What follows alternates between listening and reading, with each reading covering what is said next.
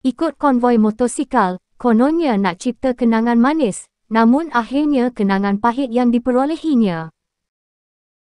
Itulah yang berlaku kepada lelaki ini, apabila cubaannya untuk melalui palang tol ketika berkonvoi terbantut, setelah dihalau oleh seorang wanita.